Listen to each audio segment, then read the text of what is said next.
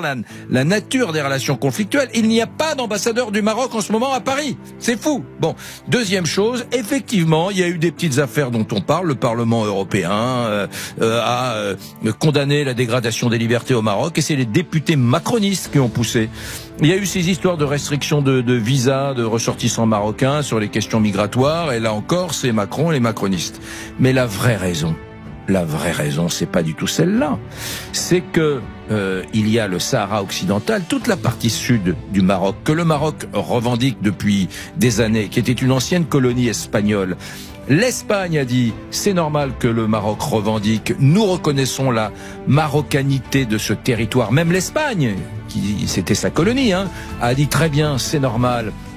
Les Américains ont dit bien évidemment c'est un territoire marocain, c'est dans le prolongement du Maroc.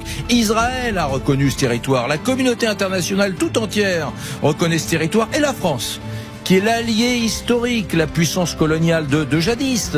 Euh, on parle d'un pays, le Maroc, où l'on parle le français. Et la France dit, ah ben non, non, non, non. Elle s'aligne sur la position algérienne et elle dit, non, non, c'est un groupe, euh, le Front Polisario, qui est un groupe armé, local, euh, quelques dizaines d'hommes avec des, des, des, des, armes et des jeeps sur ce territoire, euh, qui sont légitimes à réclamer bien la paternité de ce territoire. Voilà. Et ça, ça, Jamais Mohamed VI ne le pardonnera à Macron. Elle est là la raison, Olivier.